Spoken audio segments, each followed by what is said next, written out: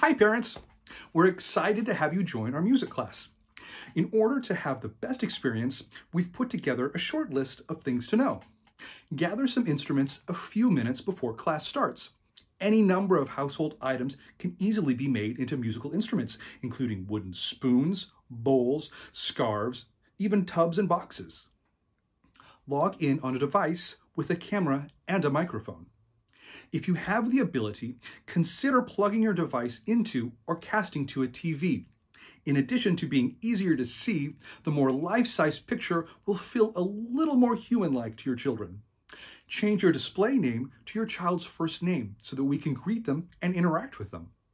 For all of its benefits, Zoom currently doesn't handle multiple sources of audio terribly well. It just doesn't know who to listen to. So, in order to prevent a number of audio problems, everyone will be muted through most of class. However, the teacher will call upon families for ideas and input from time to time to help keep things interactive.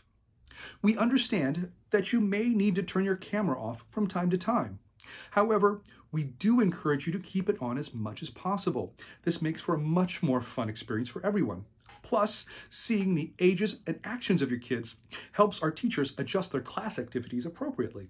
Sing, move, and dance along at home. I can't overemphasize this. Not only does this turn screen time into active screen time, but children learn most by watching their caregivers. Remember, you are their most important teacher.